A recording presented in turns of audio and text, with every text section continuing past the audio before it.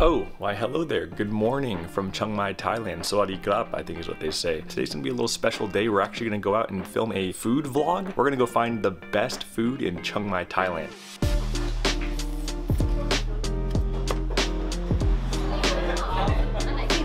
Alright, so we're at our first food destination of the day in Chiang Mai, Thailand. We're actually at Khao Soi. I think it's called Mae Sai, and I guess this place is extremely popular. I found it on Google. There's a huge line of people waiting, and uh, very popular inside. This place is just uh, north of Niman, and uh, it's actually so popular, in fact, that they gave me this little tracker, so it's gonna hopefully vibrate when it's our turn, but there's a lot of people here, so I expect it's gonna be a bit pretty long wait. Um, yeah, Water found this little uh, shop next door selling coffee and yogurt. Got little mini coconuts.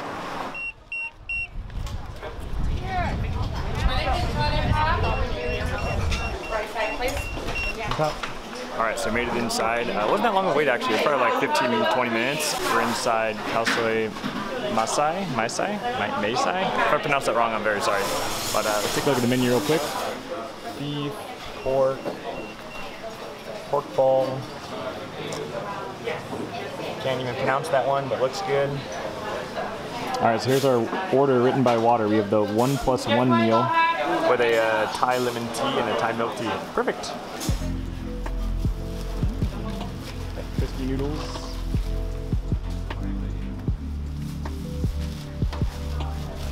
As I sit here and become a YouTuber and look into the mic instead of into the camera, I wonder what the hell I'm doing with my life. They just brought us our little, uh, I guess you could say toppings. This is typically what you'll throw on uh, on the soi, really liven up the dish. All right, so soi is basically this kind of curry uh, broth that's a little bit spicy. It has a little bit of that sweetness to it, but has these, I, I want to say egg noodles with some crispy noodles on top, a little bit of uh, cilantro on there, and a chicken leg. And it's honestly my favorite dish in Thailand. I love the, the levels of flavor that it brings, especially when you add on these additional toppings. But I'm ready to dig in and take our first bite. Pickles here, pickled veggies, some of the shallots, a nice little squeeze of the lime. All up on there. Mix it up a little bit.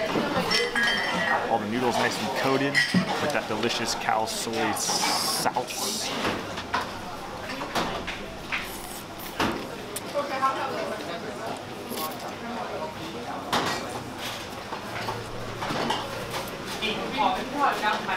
Dude, that is zesty.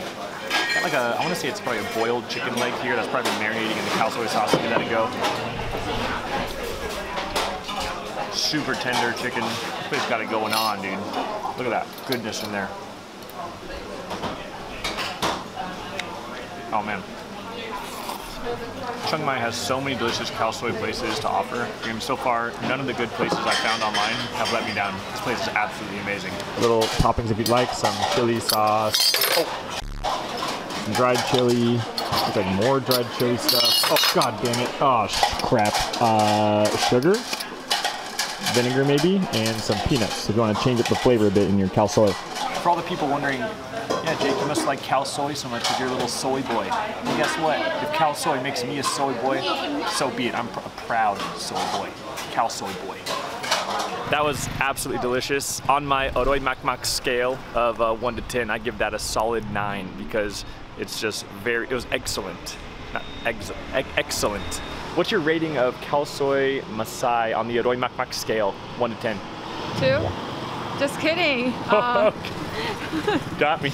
dude, it was so good. Nine. Nine. Yeah. Same. Yeah. Hold on, scooter. Anyways, we're at SP Chicken. I've never been here. Very famous for the rotisserie chicken. Uh, we're gonna pop in. I'm not too full from the soi, which is nice. Uh, we're gonna try some of the chicken out. What will it rate on my Oroi Mak Mak scale? I'm not sure. And for you non-Thai speakers, Oroi Mak Mak means very delicious. All right, let's go check it out. Our first time here. Ooh. All right, so we just sat down inside SP Chicken. Uh, it's not too full, but we're after uh, probably the crazy lunch hours. But let's take a look at the menu and see what they got. All right, so we went ahead and went with the uh, half roast chicken, spicy green papaya salad with the dried prawns, and uh, rice and water.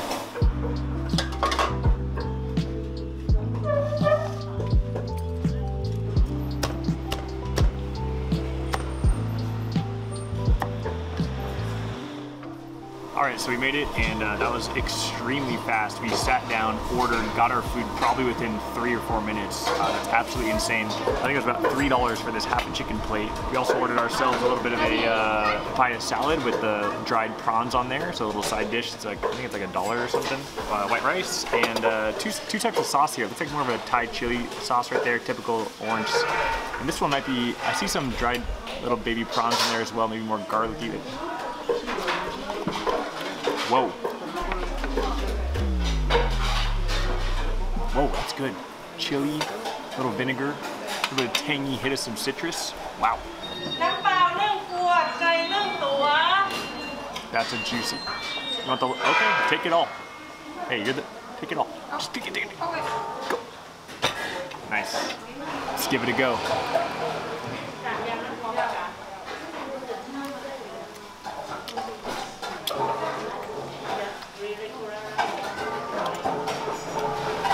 Well, golly, Costco, you better sit down because SP Chicken's coming for you. Great, tender, juicy chicken, not dried all on that rotisserie. These chickens are a little bit smaller, way smaller than the um, all-American Costco chickens, brother.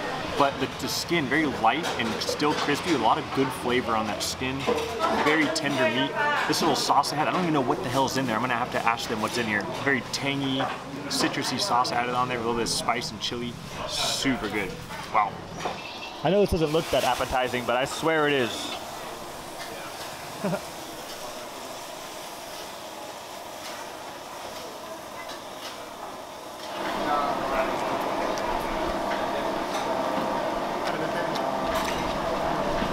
well,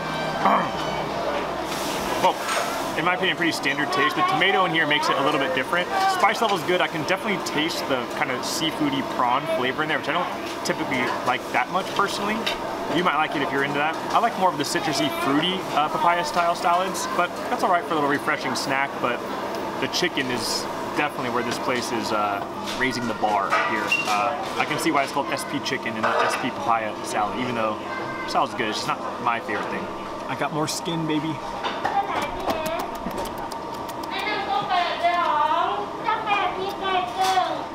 need to find out what the heck is in this SP chicken crack sauce. This is so good. What is that? I Think they'll tell me? Let's, let's go find out. Uh, sorry, Kak. Um, this sauce is very adoy mak mak. What, what, what's, what's inside? One, Whoa. two, three, four. Was this chili powder? Chili, rice powder. Rice powder? Fish sauce. Fish sauce? Lemon. lemon. Oh my gosh. Thank you. All right, so the SP chicken, very delicious and reasonable. I think the total price there was 185 baht, which is about a little less than $6 US. On my Oroi Mak Mak scale out here in Thailand, I give it a, uh, you know, it's rotisserie chicken, can't go too crazy. The sauce leveled up. For a quick, simple meal, I'd give that a solid 8, an 8 out of 10 on the Oroi Mak Mak scale. Wawa, what do you think? 7.5. 7.5. That's fine. I mean, it's just, It's just chicken. yeah, it's just, yeah, I get that. The sauce helped me a lot, but I had better chicken. There's probably better chicken out there, but hey, it's good. Yeah, it's good enough. W- worth a shot. Let's see if we can head to the next location on this Chiang Mai, Thailand best of food tour vlog, whatever, extraordinaire, whatever this is called. I don't know. Hope you guys are enjoying it though. What do they do on YouTube? Like, comment, say hi in the comments, Oh, no, subscribe. Yeah, all that jazz. Yeah, thanks.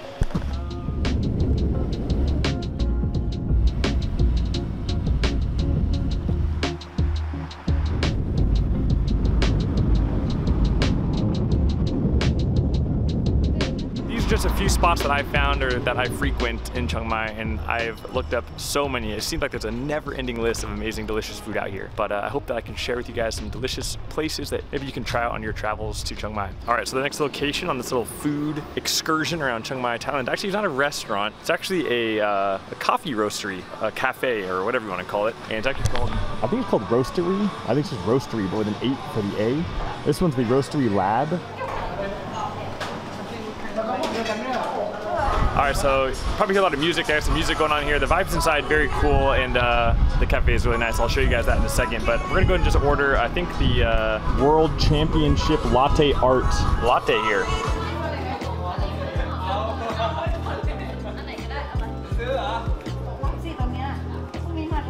All right, so we got here right before they closed. They closed at 5 p.m., but we actually came here and met the owner. His name's Arnon. He actually did a really special latte art of uh, Feels Good Man. So check out that clip real quick right now. Don't mind, don't mind. I said China. That's up. There it is. Damn. Thank you so much. yeah, it's my phone. Thank you. This is the phone. Oh my god. Hear that music? So yeah, if you're in the Niman area uh, in Chiang Mai, need a coffee, Roastery is a great place to go. They have three locations. Uh, coffee's always good. They put a lot of, I, I, like when they put a little love and effort into it. I love uh, cafes where they roast their own beans as well. It's also next door to a place called Menefresto, I think is the name. That's like a little brunchy cafe where they actually have like really delicious fresh fruit smoothies and little like a Western style brunch or breakfast that Water and I ate at a few times this trip as well. So if you're kind of craving that, right next door, right here is Menefresto, a great place for little smoothies or uh, Western style breakfast. Mmm. All right, so we're actually currently in my uh, favorite place in Chiang Mai. It's the area called Niman. It's uh, very busy, very active, but it's a really cool kind of young and trendy place, a lot of cool cafes and restaurants. But one honorable mention I wanted to give uh, during this video, it's actually a burger restaurant called Beast Burger. I tried it when I came to Chiang Mai for the first time a year ago, and it was uh, surprisingly really good. Anyways, if you guys are in Chiang Mai, Thailand, uh, you're in the Niman area and you want to catch a quick burger that's actually pretty dang good, check out Beast Burger. It was pretty good. Uh, again, the review will be up on my TikTok, I believe, so check that out. If you make your way along this little street right here, the famous braised pork leg on rice. You'll know when you get here because the picture will have the lady with the cowboy hat, but uh, this is it. Let's take a little gander, shall we? Hello.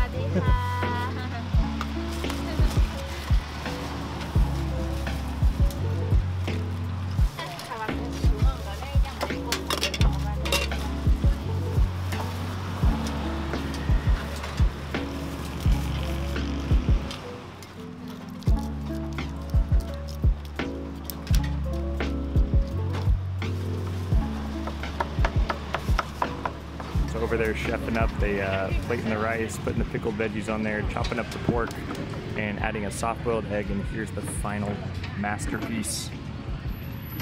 Oh man. What we found special, we had this yesterday, was this sauce they have on the table. I don't know what the heck is going on with this thing. It's like a citrusy, tangy, spicy.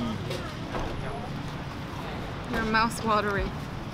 Waterfall of flavors that you can just kind of pour all over, but it tastes really good with the pork. But uh, let's go ahead and try it out.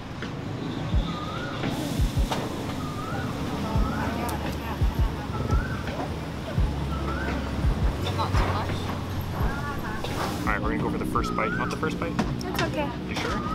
Rock, paper, scissors. Rock, paper, scissors, go. All right, so I'm gonna take a little piece of this delicious, tender pork here. A little bit of that rice. In fact, let me just scoop it up. Some I already rice. have a food coma looking at this. Some of the egg on there. The egg's really good. There you have it.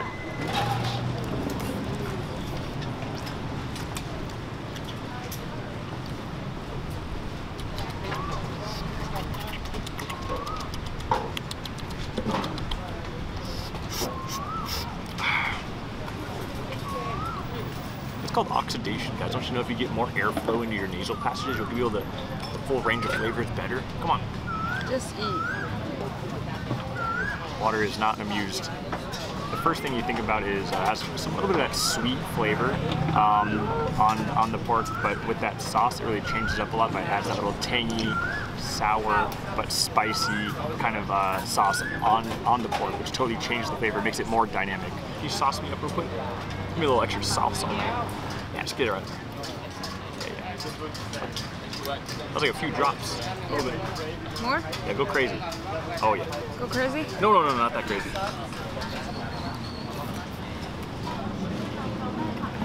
So you can see how tender the pork is, just pulling it apart. So delicious, look at that. Of course, we got to give a shout out to the legend out here who's done a lot of content in Thailand, uh, a lot of food content, big inspiration I've watched for a very long time, even before I ever started making any content. I'm not a food vlogger, I would like to be, but um, here's my uh, appreciation clip from Mr. Markle, Mark Wiens.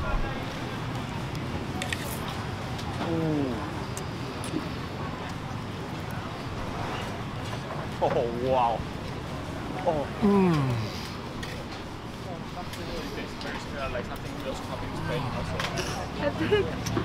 Well, pretty good. What's the horror movie called? Horror movie. It's a horror movie. It's a, it's about to change. The Exorcist. The girl in the bed. Yeah, yeah, yeah. That. So I'm, I'm possessed. Right. No, that was just a tribute to Mr. Mark Wiens. Okay. Nice try. All right, well, let me know what you think about my Mark Wiens impression in the comments below. Oh God, that's so cringe. I can't say that, but seriously, let me know. If I do have any negative about this place, occasionally you get the little whiff, the little waft of um, Thai sewer smell, which is just trying to ignore it. Whenever you get the waft of the sewer smell, just do yourself a favor. Take this God sauce, get a nice whiff of that. Save yourself a lot of, a lot of headache, trust me. All right, I got an exclusive interview with the cowboy hat lady actually here with the delicious pork leg rice. Uh, Sadika. So, uh, what's your name, by the way? Joy. Joy? Joy. Nice to meet you. I'm Jake. Nice and you your pork yeah. on the rice is oroi makmak. So good. So I have to ask, why the cowboy hat? Oh, you, you can say Thai. I can ใช่ translate. อ๋อสับหมูไฟมันสองตาค่ะแล้วใส่ Okay. หมวก All right. I think she said uh, people just notice it when she's chopping the pork. Very cool. Well, anyways, I love your food. I came two days in a row. Aw. Very oroi mak mak. So, ขอบคุณ ขอบคุณครับ.ค่ะ thank you so much. Thank you. Yo, is this guy wearing the same thing as me? What the heck? It's like a. What the? You see this? Wait, show me, show, show me real quick. Show me real quick. This is so funny. Oh, I'm not wearing my black shorts though. Oh, close one. It's the same. quick review of that. Honestly, amazing flavors all come together on that plate very well. From the a little bit sweet, very tender, juicy pork leg with that tangy, spicy sauce you can put on top with the rice, that soft boiled egg that kind of ties things together, adds a little bit of creaminess, and the pickled veggies add a little bit of an extra layer of flavor. On my Oroi Mak Mak scale out here in Thailand, easily a solid, I give it an 8.8 out of 10. Wawa, what would you give that on the uh, Mak Mak scale out here on 1 to 10? I would give it 8.5. 8.5. All right. No, I think the environment is a little stinky. Yeah, a little Maybe? stinky. Yeah, if it wasn't so stinky, it might have gone up of, uh, maybe a tenth of a Yeah. point. All right. Well, everybody, I hope you enjoyed watching this vlog of Chiang Mai's best food. All right, that was a little bit of a clickbait title. To be honest, we just went to a couple places in Chiang Mai that served up some very delicious food. There's an unlimited amount of options out here of delicious food from my favorite khao soi to this pork rice. They have uh, all sorts of delicious food that we didn't see on this video, but from the delicious khao soi we had earlier to the little delicious roasted rotisserie chicken and to a nice little cup of coffee and to this delicious pork leg on rice. Uh, it was a fun little day. Everybody take care, have a good one. See you later from Chiang Mai, Thailand. Today was an amazing Oroi Mak Mak day and I hope to see you guys on the next YouTube video. Take care.